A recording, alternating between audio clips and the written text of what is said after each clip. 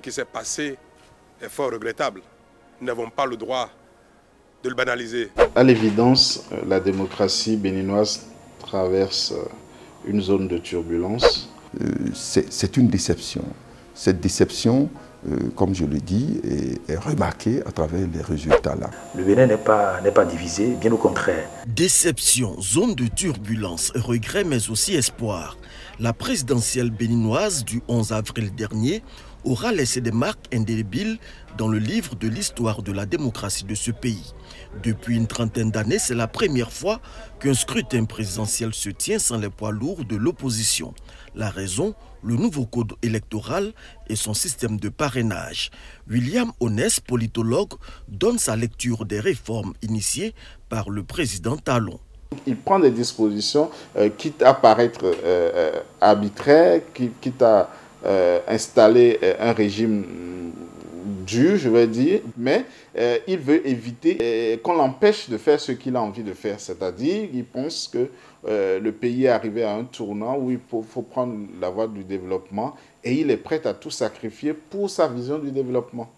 Pour d'autres observateurs de la scène politique béninoise, la loi peut paraître dure, mais tout le monde doit s'y conformer. Si la loi ne vous permet pas, vous, institut personnel, d'être candidat, mais il y a dans votre famille politique forcément quelqu'un. Parce que si la loi n'a pas empêché euh, Djemba d'aller aux élections, mais écoutez, ça ne devrait pas empêcher autre personne. Maintenant, si vous vous, vous, vous retrouvez dans l'incapacité d'être candidat, c'est que forcément il y a quelque chose. Et dans votre famille politique, il doit y avoir forcément quelqu'un pour faire le jeu. Irénée Agossa fait partie des trois dieux de candidature validés par la Cour constitutionnelle. De passage à Abidjan, il dresse son bilan. Nous sommes heureux d'avoir participé à cette élection et en donnant espoir à ceux qui sont euh, euh, euh, insatisfaits, qui sont malmenés, qui sont lésés hein, par cette gouvernance, de s'exprimer à travers les urnes.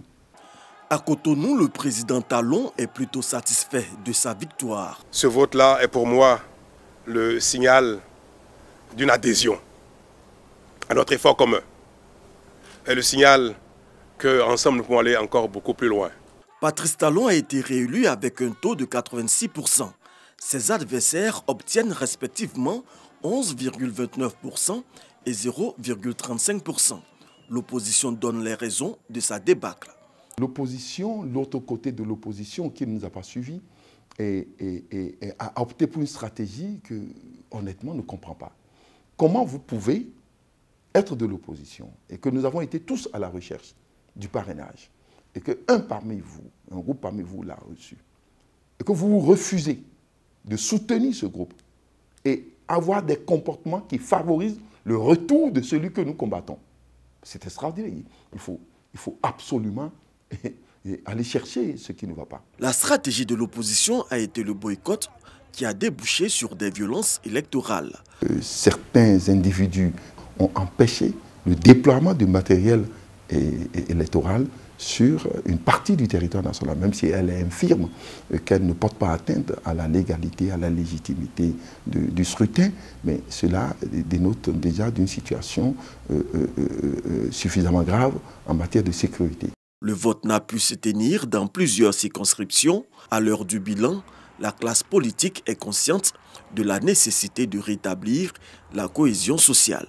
C'est ensemble euh, que nous allons construire notre pays dans la concorde, dans l'unité nationale, dans la paix et dans la sécurité. Tel que moi je vois le président Talon, que vous l'aimez ou pas, vous allez finir par l'apprécier. C'est de ça qu'il s'agit. Donc, pour, pour, pour, moi, je demande euh, à l'opposition euh, de faire un effort, de faire un effort, euh, de jouer la carte de l'apaisement, de trouver les voies et moyens pour revenir au pays. La main dans la main, je suis sûr que ça va, ça va se construire. Nous demandons à ce que le président prenne une loi d'amnistie pour permettre à tous ceux qui sont à l'extérieur, et les prisonniers et autres, de sortir ceux qui sont pris pour des faits ou tels et tels, de les laisser pour que nous puissions discuter dans un climat de sincérité, de vérité. Le chemin de cette réconciliation sera certainement houleux le vendredi 16 avril dernier L'opposant Frédéric Joël Aïvo a été placé en détention provisoire avec trois autres personnes pour atteinte à la sûreté de l'État et blanchiment de capitaux. Par ailleurs, plusieurs opposants béninois sont toujours en exil.